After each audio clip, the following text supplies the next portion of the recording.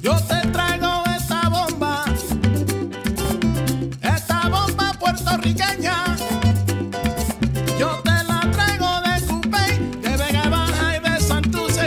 la parte de Puerto Rico.